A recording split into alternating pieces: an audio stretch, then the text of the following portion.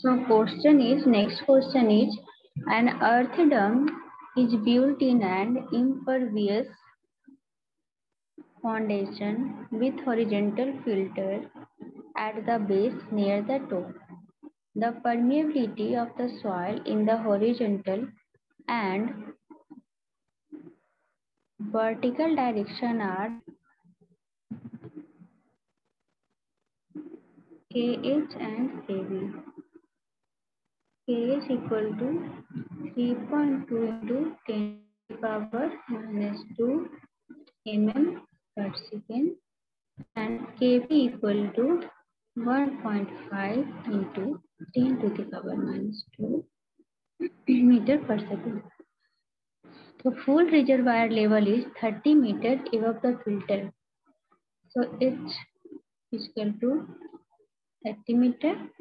The flow net constructed for the transformed section of the dam consists five flow channel that is given flow channel NF equal to given 5 and 13 potential drops. So potential drop in D equal to how much? 13. 13 is the equipotential drop, number of equipotential drop. So estimate the seepage loss per meter length level of dam. So we have to calculate seepage loss per unit length below the level of dam. So given information is this type here. So we can calculate seepage, discharge of seepage loss. So for discharge of seepage loss, we can use formula Q equal to KHNF by ND. But here K is in, in both direction as well as horizontal direction and vertical direction. So first we have to find equivalent permeability equivalent permeability that is equal to K equivalent under root Kx into Kv. So this value is 1.5 into 3.2 under root 10 to the power minus 4. So K equivalent equal to 2.19 into 10 to the power minus 2 mm per second.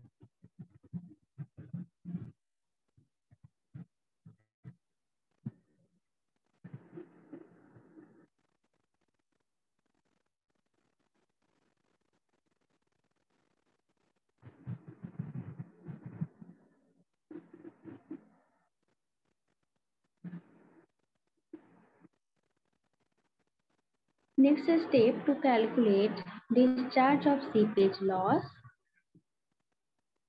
So for discharge of seepage loss, we can use the formula Q, K equivalent, H, NF by N, D, where K equivalent equal to calculated value that is 2.19 10 to the power minus 2 H is given that is 30 meter above the filter and HF is 5 flow number of flow channel and ND equal to 30 that is equipotential drop.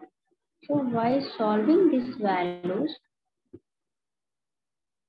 how much this is? So this is approximately 2.57 into 10 to the power minus 4 meter cube per second. This is the discharge of seepage loss per unit length. Also, this value written as 0 0.2527 liter per second. So this is the seepage per unit length of dam. Seepage per unit length of dam.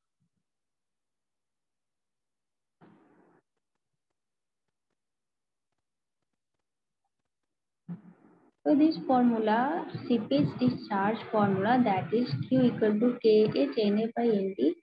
This formula is very useful for our GATE exam, also for another competitive exam.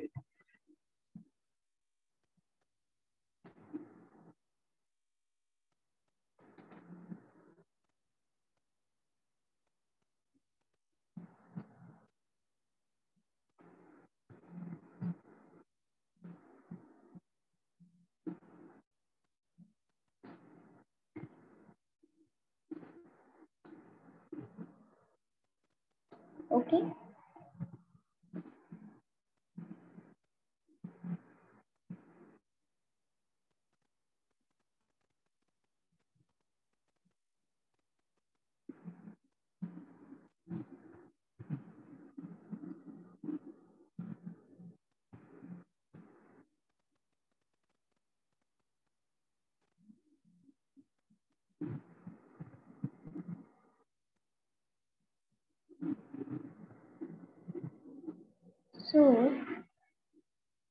Also if stratified condition is given or flow net that is flow net is given in non-homogeneous section in that condition also we correlate k1 and k2 with alpha and alpha 2 as tan alpha 1 and tan alpha 2.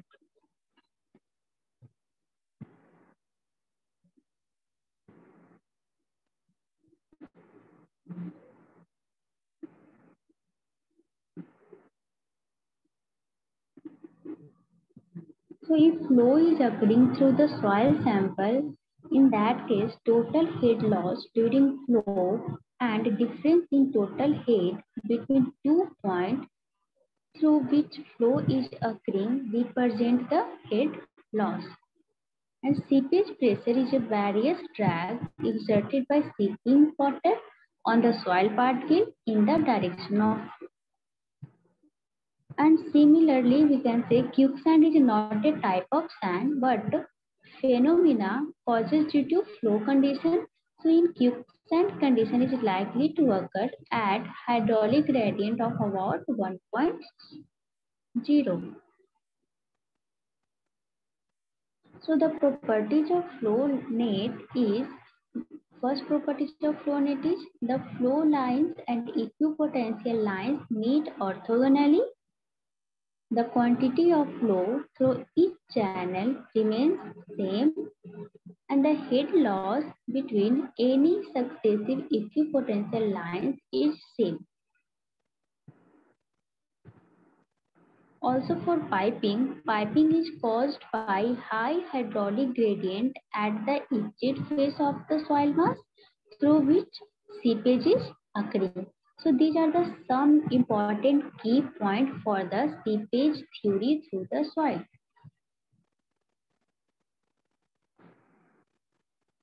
Okay.